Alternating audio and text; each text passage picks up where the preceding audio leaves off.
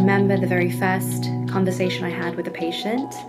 He was a burn victim and he had suffered severe burns all over his body and was in excruciating pain pretty much all the time. And he told me that cannabis gave him back his life.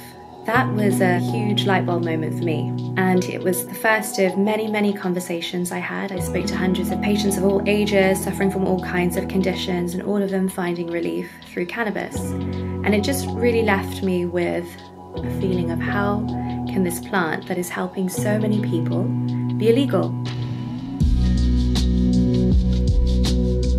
I'm from the UK, I'm English, as you can probably tell from my accent, and growing up, medical cannabis was not something I was exposed to. It was just a drug and something that was addictive and harmful. You know, you're fearful of it. And so, what I heard from these patients, I couldn't understand how everything I had been told was what these patients were describing. So I started looking into it. Cannabis has been used as a medicine for thousands and thousands of years, from ancient China to the ancient Greeks, India, Egyptians. It was available in pharmacies in the US, over the counter. It was one of the most widely used medicines up till about 1930.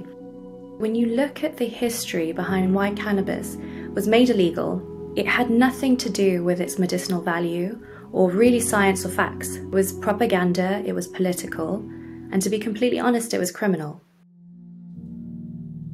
When I was 26 years old, I felt a lump at the side of my breast. I went to the doctors. I was told that it was probably nothing and that I should come back if it was there in a couple of months. So I did. I went traveling and then I came back because it was still there and was sent off for a biopsy. And then a few days later, I uh, was given the cancer diagnosis. And, you know, when that happens, your whole world is turned upside down. Cancer can be extremely aggressive in young people. I had to have radiotherapy, I had a lumpectomy. Unfortunately, there were complications, so I had to have about 10 to 12 more surgeries over the next 12 years.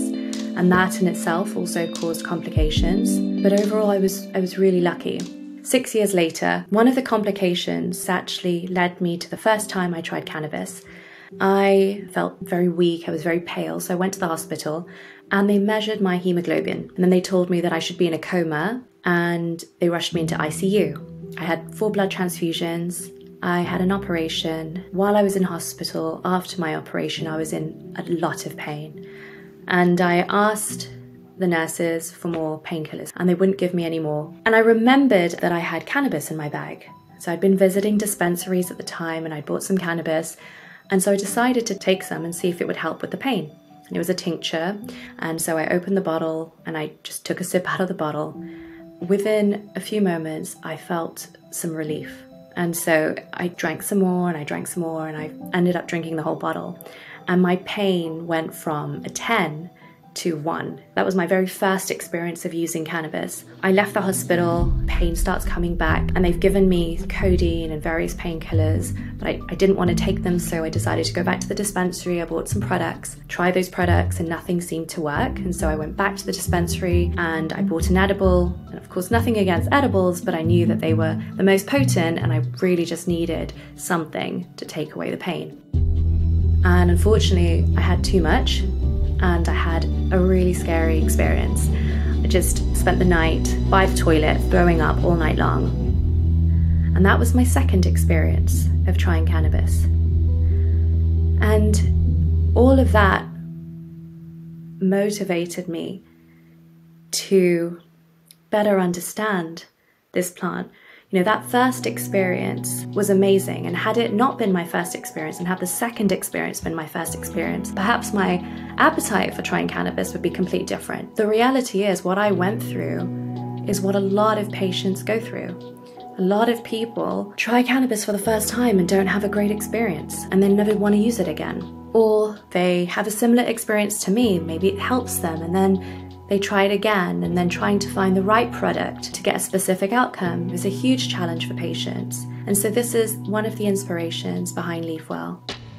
Cannabis has been life changing for me. I had no idea what this plant could do and how it was helping people.